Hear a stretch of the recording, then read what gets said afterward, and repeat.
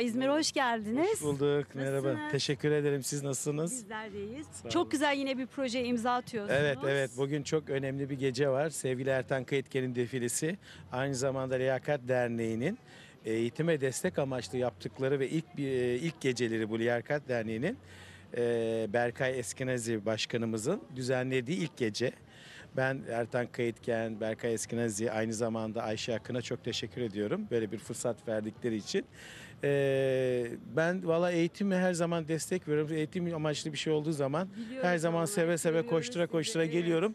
Gece çok güzel, çok anlamlı olduğu için de son derece çok güzel bir atmosferde yapılıyor. Burası arena. Evet. Ee, biz deniz kenarında olmasından dolayı biraz farklı bir podyum kurduk içeride.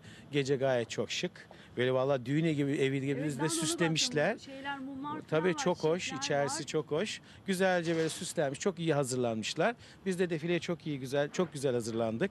Sevgili Ertan Kayıtken harika kıyafetler Evet, yapmış ve ilk güzel. defa beach ve mayo giysileri Evet. hazırlamış. Zaten açılışımız öyle mayolarla olacak. Aynı zamanda birbirinden e, hepsi birbirinden değerli. 31 tane model var. Onlar da bu gece için özellikle yardım amaçlı geldiler. Onlara da teşekkür ediyorum. Hepsi birbirinden değerli modellerimiz var. Ee, içeride birazdan hepsiyle zaten sık görüşeceksiniz. Tuğçe Kazaz, Ece, Ece Sükan, Tülin Şahin, Şenay Akay, Ahu Yatu, e, Selda Acar, e, Didem Soydan, e, Ebru Öztürk. Yani Herkes 31 burada. herkes burada bugün. Evet. Çok güzel.